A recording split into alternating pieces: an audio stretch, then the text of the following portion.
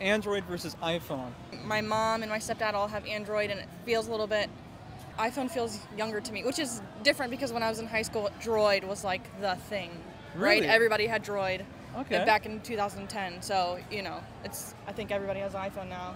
Younger people do.